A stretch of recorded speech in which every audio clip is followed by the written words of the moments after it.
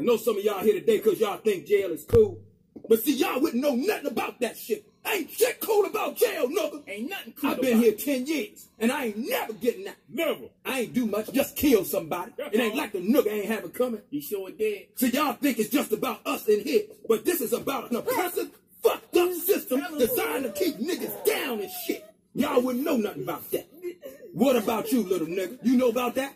Yes, Oh, you know about that? Tell me what you know about that. Tell me what you think about that. the prison industrial complex is a system situated at the intersection of government and private interests. It uses prisons as a solution to social, political, and economic problems. It includes human rights violations, the death penalty, slave labor, policing, courts, the media, political prisoners, and the elimination of dissent.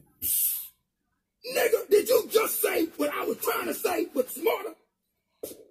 I like this little nigga, but you left one thing out, little nigga. Show of hands, how many people ever raped a man? Pause. Uh-huh. How many people ever been raped by a man? Again. All up, 100%. You can't get no higher than that, nook. You step in here, you get raped. Right up the motherfucking brown eye, baby. I raped a few niggas myself. I ain't really enjoy it. Like Not that much. Not that Shit much. felt good to the motherfucker, though. I ain't let that nigga kiss me or nothing. But I mm-hmm. did tear that motherfucking ass out, nigga. I ain't gonna lie about it. But that's what the man's oppressive system did to me. Mm-hmm. Now,